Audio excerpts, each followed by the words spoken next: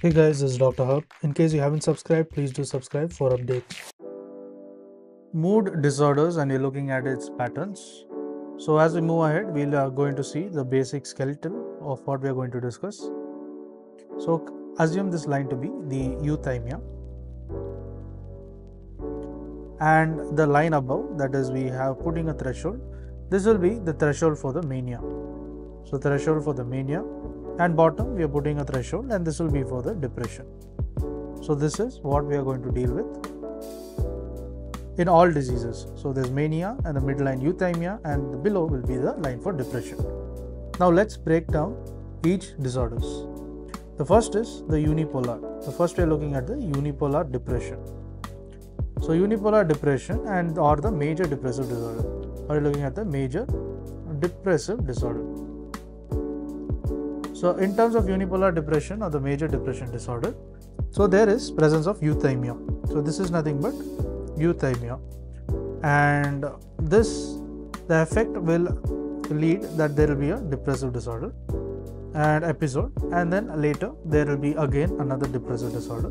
So, what we are seeing is at least two month gap will be present among them, and then again this will be for uh, two weeks so each episode will be for two weeks or more. So it will be at least for two weeks or more. And then again, this uh, episode will continue. And this will move on to the one year. Okay, this will be about unipolar depression and the major depressive disorder. Next, we move on to the bipolar disorder. Bipolar disorder, and we are looking at the type 1. So, bipolar disorder type 1, and this is nothing but a single episode. So, as per this, uh, let's look at the the manic episode. So, when you look at the manic episode, it will be on top. It will be on top. That is the episode of threshold of mania. Next, we move on to the bipolar disorder type 1. So, there is bipolar bipolar disorder type 1 bipolar disorder type 1 and this will be recurrent. And here what happens is there will be again an episode and this will be followed by at least 2 months of gap and then there will be another one of episode of mania and this goes on. This will be the bipolar disorder type 1 and this is nothing but recurrent so it can happen like this. And next, there is another variance such as there may be one episode of mania followed by an episode of uh, depression. So this mania it can be about one week or more and then there's depression for about two weeks and again there can be an episode of mania the next variety is where we look at there can be multiple episodes of mania.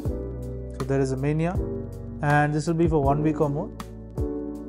Next there can be an episode of uh, four days or more and this will be hypomania. This will be nothing but hypomania. Next we look at the other variety. The other variety is where we'll have an episode of depression and this will be two weeks or more next there will be another episode and this will be a type of mania and then there will be another episode. This will be 4 days. So this will be 1 week and next will be 4 days of or more. Now let's move on to the bipolar type 2 so in terms of bipolar 2 there will be a significant amount of change. That is uh, there can be a movement of uh, mania. And this is not going up to the threshold of mania.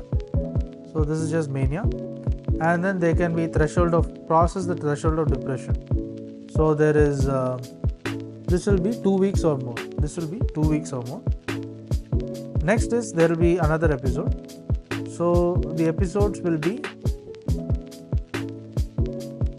uh, mania, but it is not uh, crossing the threshold of mania, then will be another episode of depression. So this will qualify as the bipolar type 2. That is nothing but bipolar type 2.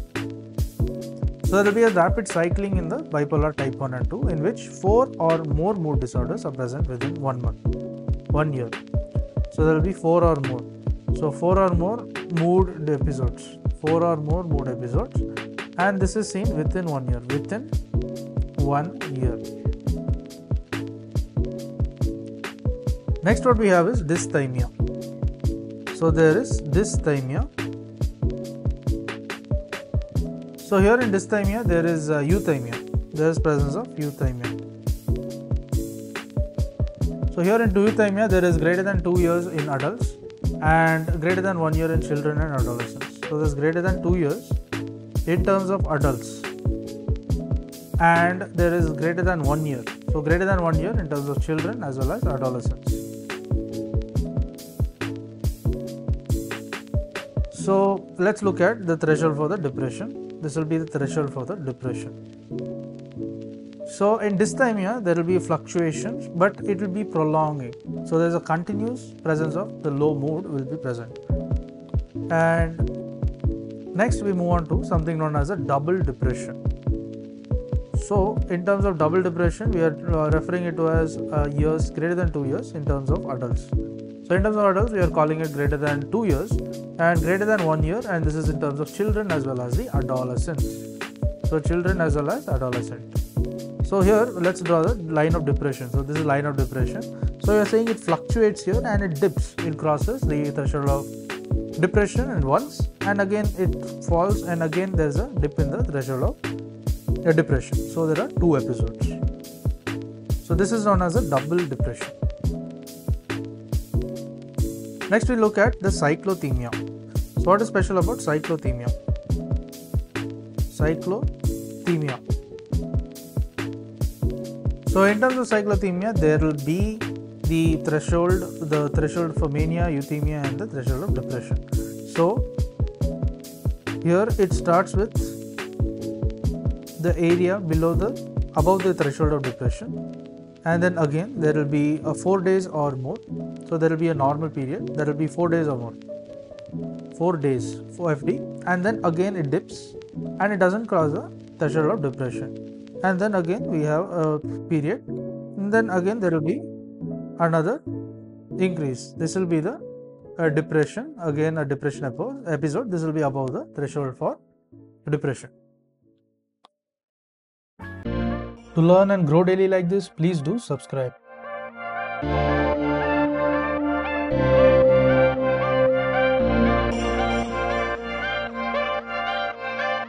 Thank